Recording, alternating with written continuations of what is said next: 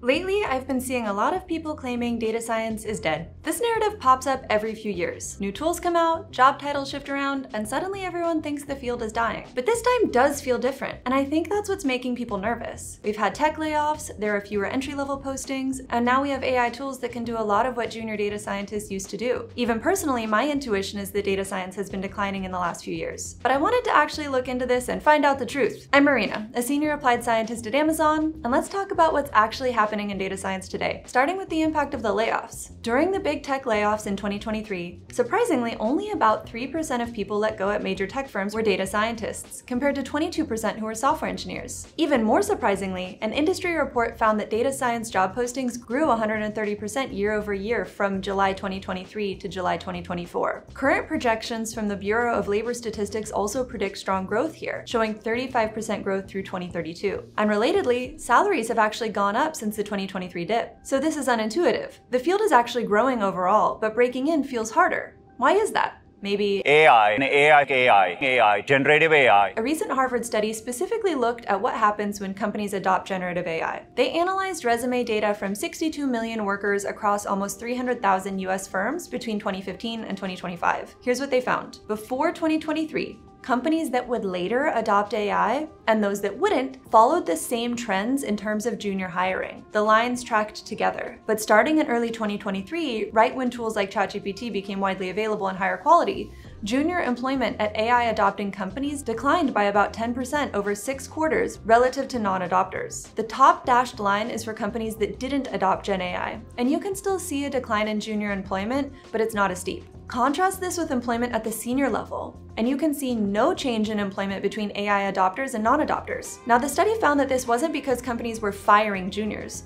They just slowed down hiring new entry-level people. The routine tasks that used to justify those hires, like data cleaning, writing simple code, drafting documents, these things can be handled by AI now. So companies just didn't hire as many of those people as they normally would have but more senior roles that are doing work that's hard to automate haven't been impacted in the same way. Now, that doesn't mean that companies aren't hiring junior roles at all, though. They're hiring fewer and looking for different things. Specifically, postings requiring Gen AI skills went from 55 in January 2021 to almost 10,000 by May 2025. The biggest jump again was in early 2023, right around that ChatGPT launch. And for specific roles mentioning Gen AI, the top two were data scientists with over 3,000 unique postings and machine learning engineers also with around 3,000 unique postings. So companies aren't saying that they don't need data talent.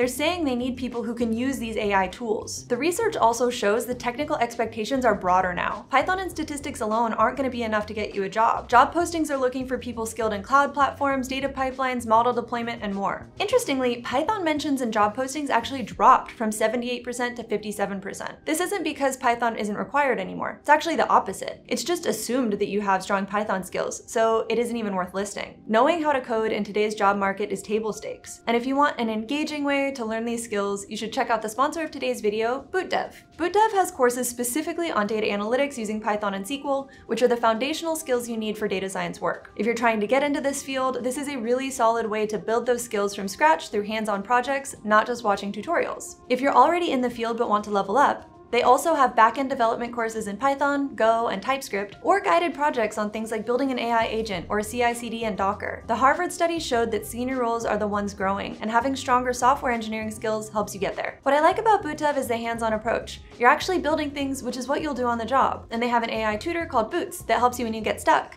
But instead of just giving answers, it asks questions to help you figure it out yourself. Plus, it's available right in your browser in this fun, gamified format that keeps you engaged. All the content is free to read and watch. The paid membership unlocks the interactive coding features and progress tracking, but there's a 30-day refund policy so you can check it out before you commit. Go to boot.dev and use the code in the description to get 25% off your entire first year on the annual plan. So the thing is, companies have changed what they're looking for and who they hire. But weirdly, despite the difficulty many people are having finding jobs, companies are also also struggling to find the right people. Unintuitively, there's actually a major talent shortage. There are over 220,000 open data science positions in the US alone, and McKinsey projects a 50% talent gap by 2026. That doesn't sound like a dying field to me. Instead, it sounds like the skills that are required are evolving faster than people are learning them. There are jobs. Companies want to hire, but they're looking for a different skill set than they were a few years ago. So learning to use AI tools is important. That's clear from all this data. But what really makes you valuable are the skills AI can't replace. Things like business impact and understanding how your work connects to actual outcomes, domain knowledge of the industry you're working in, and stakeholder management and communication. Okay, so given all this, where does the data science job market stand? I'm not gonna sugarcoat it. The Harvard study confirms what many people are feeling. Entry-level hiring at AI adopting companies has slowed significantly, but it's not impossible. You just need to be strategic. Your projects need to show more than just technical skills now. You need to demonstrate AI proficiency and create projects with clear business impact. Another path that's working is starting as a data analyst and moving up. The research shows companies are more likely to promote from within than hire junior data scientists from outside. So you might need to get your foot in the door somewhere adjacent, prove your value, and then advance into data science from the inside. If you're more experienced, the research shows this is actually a good time for you. The Harvard study found senior roles kept growing even as junior hiring slowed. There's a talent shortage for experienced people. So is data science dead?